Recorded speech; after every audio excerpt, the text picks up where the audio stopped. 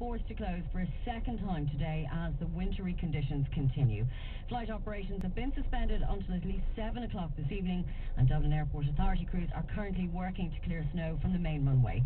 Many Dublin bus uh, routes are also running only a limited service in the capital this afternoon, with many buses forced to pull out into the side of the road. And the company says it's making every effort to maintain a limited service on all routes.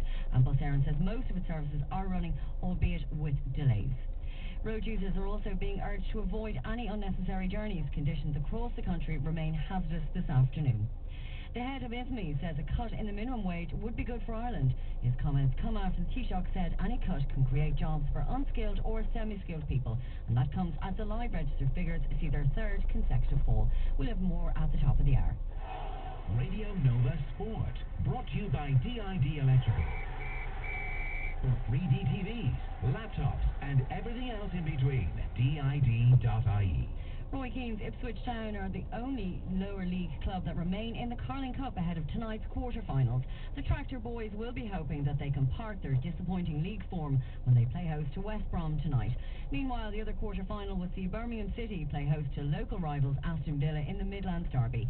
Both games get underway at 7.45. And there's also one Premier League club involved in European action tonight as Man City host Red Bull Drum with Kilmacud Road Upper now closed from Main Street past the Garda station. It's also very icy on Kilmacud Road Lower and the Ballinteer Road. Glencullen is reportedly unimpassable altogether. And it's extremely poor throughout Kiltiernan with some roads impassable and the Enniskerry Road should be avoided. Uh, look around Dún Laoghaire, Kill Avenue, Kill Lane and Clonkeen Road are very icy. York Road in Dún Laoghaire and Glenageary Road Lower is passable now but should be avoided. 404-100. And of course you're in with the chance to win a sat nav. Actually we've got Daniel hanging on the phone here. Uh, what do you got for us Daniel? It's come all the way down the N7. I mean, uh, I heard the guy who was on there a few minutes ago, his tailback as far as Rathcoole on the way into Dublin, but um, you can drive pretty much straight out of the city now at about 30 miles an hour um, at the moment, but I would say in about 25 minutes from now when rush hour really hits, it's going to You want, when you want it, I'm Bethany Clark. New Kings of Leon song called Pyro on Nova.